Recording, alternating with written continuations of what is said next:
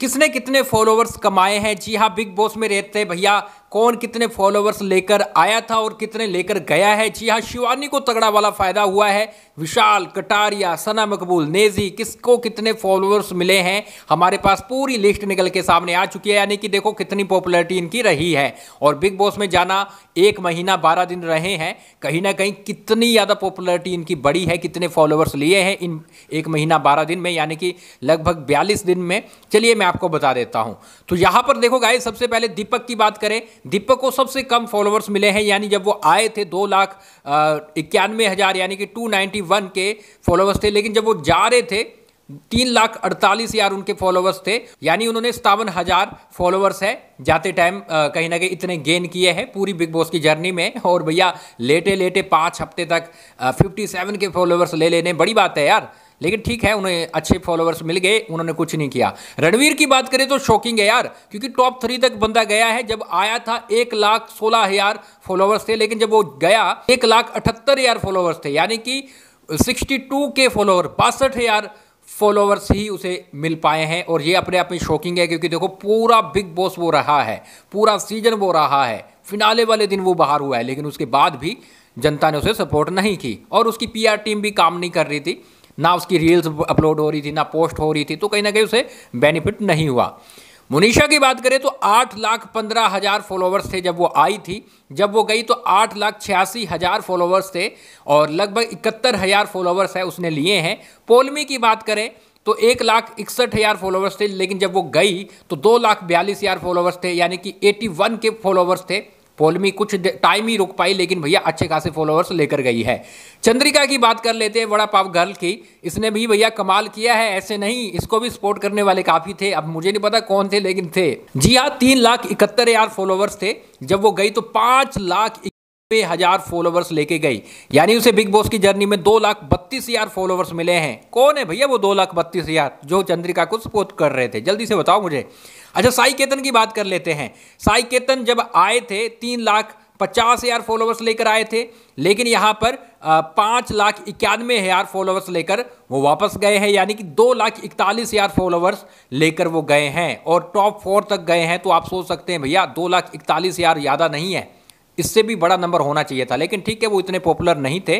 कहीं ना कहीं मेकर्स उन्हें आगे लेकर गए थे। अच्छा मैं नंबर बताना भूल गया। दीपक नंबर पंद्रह पे थे, रणबीर चौदह पे थे, मुनीषा तेरह पे थी पोलमी नंबर बारह पे चंद्रिका नंबर ग्यारह पे, और साई केतन नंबर दस पे, अब सना सुल्तान नंबर नौ पे। जी हाँ नंबर नौ पर है, और 6.5 मिलियन फॉलोअर्स थे। जब वो आई थी, लेकिन जब वो गई तो 6.8 मिलियन यानी कि तीन लाख फॉलोअर्स उसे मिले हैं, जो कि मेरे हिसाब से ज़्यादा नहीं है। और भी अच्छा वो कर सकती थी। बाकियों को आप देखिए कैसे कैसे मिले।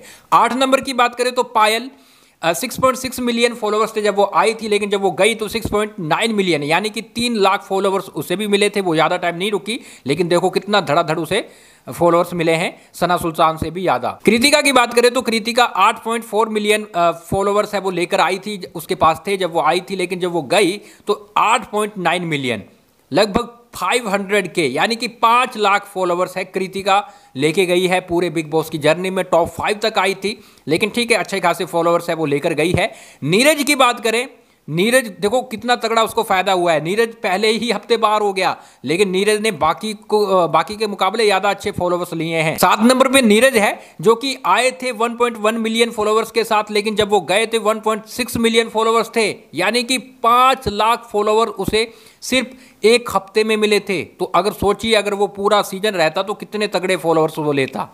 अरमान की बात करें, अरमान नंबर छह पे है, जब वो आए थे 3.7 मिलियन फॉलोवर्स लेकर आए थे, लेकिन जब वो गए हैं 4.7 मिलियन यानी कि एक मिलियन फॉलोवर्स है अरमान को मिले हैं बिग बॉस की पूरी जर्नी में, और वो कहीं ना कहीं पहले आउट हो गए थे टॉप फाइव में नहीं जा पाए, लेकिन ठीक है, एक मिलियन ले गए, बहुत अच्छी बात है।